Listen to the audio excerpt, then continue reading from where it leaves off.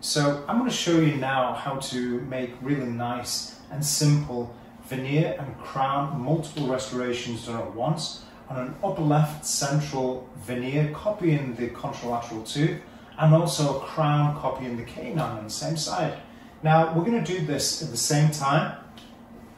There's a multiple restoration option on the administration and both are going to be set as this copy and mirror so you can see how powerful the software is to really make things nice and symmetrical and easy with single visit so you can have that patient walking out with a really nice result.